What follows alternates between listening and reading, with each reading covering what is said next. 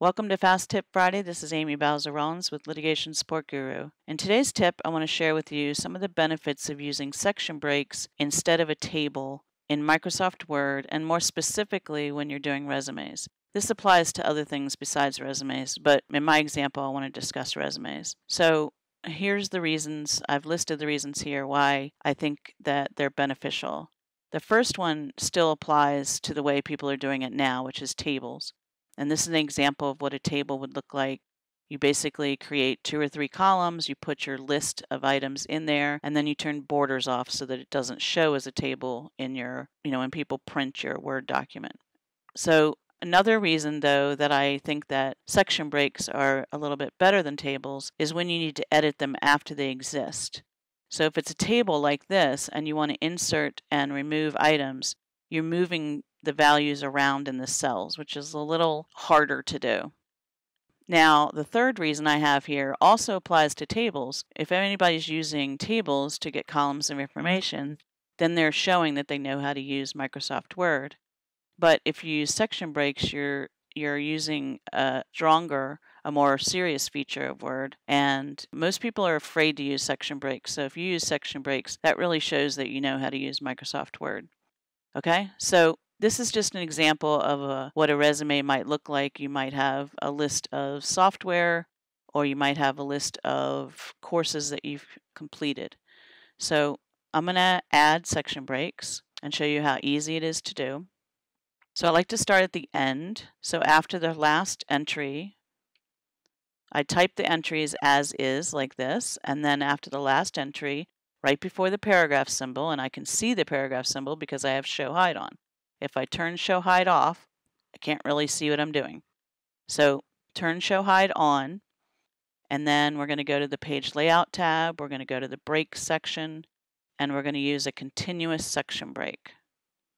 Okay, so the next step is to put a section break at the beginning of the list. So I'm going to click right here before the first item, and I'm going to insert a break and choose continuous. Now, it still looks the same in the document, of course, but now we add the columns. So we click on columns and we choose two or three, depending on what we want. So let's choose two. So now you can see that you have a section break before and after your list, and then your list is in two columns. Okay, so now let's look at the same list in three columns. And this is cool because you can easily, the list exists already. You're just choosing whether you want two or three columns. Whereas if you did a table, whoops, if you did a table, you'd have to, again, you'd have to move the entries around within the cells, you know, a lot of cutting and pasting. So in this example, I just have my list and I'm choosing to switch from two columns to three columns. So let's see what that looks like. Okay, so now it's three columns. And now if I ever need to make any edits, it's one fluid list in the section breaks. So if I need to swap out, you know, an entry, let's say that uh, I want to take out this entry and add another entry anywhere, I just do it. I just add, you know, a new paragraph and add the entry. But it makes it a lot easier to do those edits because it's section breaks. So let's do one more right here. Let's go to the end of the last entry before the paragraph symbol breaks continuous, and then before the first entry, breaks continuous, and then anywhere between the section breaks, let me uh, show you what it looks like. If you can't see the section breaks, see how they are beautiful, like you can see them really clearly. Let's turn off show hide. Now you really can't tell where the section breaks are, which is makes it a lot easier if you turn on show hide. So anywhere in this list, I can click anywhere in this list.